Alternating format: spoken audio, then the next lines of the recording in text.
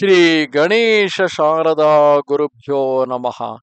ಬ್ರಹ್ಮಾನಂದಂ ಪರಮಸುಖದಂ ಕೇವಲಂ ಜ್ಞಾನಮೂರ್ತಿಂ ದ್ವಂದ್ವಾತೀತಂ ಗಗನ ಸದೃಶಂ ತತ್ವಮಸ್ಯಾದಿಲಕ್ಷಂ ಏಕಂ ನಿತ್ಯಂ ವಿಮಲಮಚಲಂ ಸರ್ವಧಿ ಸಾಕ್ಷಿಭೂತಂ ಭಾವಾತೀತಂ ತ್ರಿಗುಣರಹಿತಂ ಸದ್ಗುರುಂ ತಂ ನಮಾಮಿ. Welcome to all for this session on Shri Guru Charitra to chapter seventeen. In the previous chapter, we saw how Sri Guru had given had given all the knowledge regarding how to do Guru Seva and made a Brahmin who was actually talking bad words about his Guru to go back to his Guru with all due respect.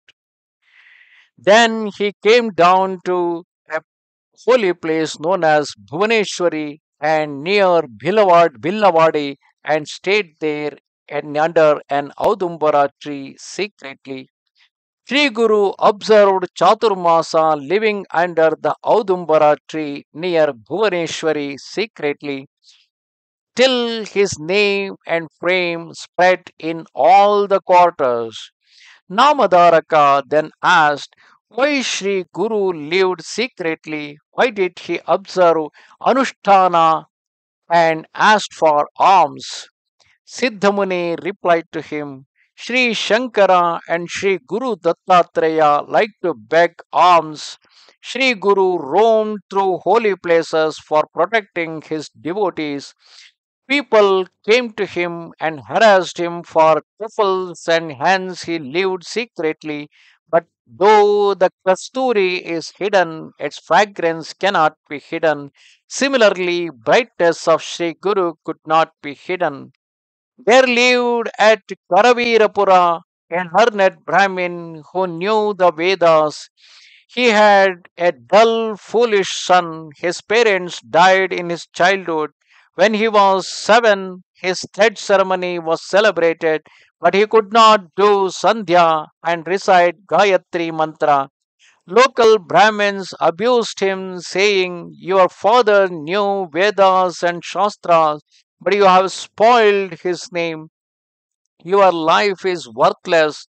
Chintamani is best among the beads, so is the knowledge for a person. A man is honored by his knowledge. A king is respected by his people, but even a king respects a learned person, as knowledge is the true wealth. The boy requested them to suggest means for his improvement. The Brahmins said, You will have knowledge only in the next birth. You should beg for your maintenance in this life. The boy, being dejected, went to a forest. He was thinking of giving up his life. In the evening, somehow he reached Billavadi. He took darshan of Bhuvaneshwari and sat at the door of the temple. Next morning, he cut his tongue and placed it at the feet of goddess and said, If you do not kind if you do not be kind with me, I shall even offer my head at your feet.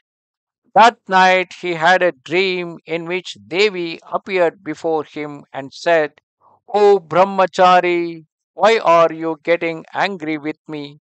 There is an avataric Purusha sitting under an Audumbara tree on the bank of river Krishna. Go to him, he will fulfill your desires. He woke up and at once ran and crossed the river. He rolled at the Guru's feet and started praising him. Guru was pleased with him, blessed him, and put his hand on his head all the as as a Varada Hasta. At once the boy got knowledge and enlightenment. He also got his tongue back.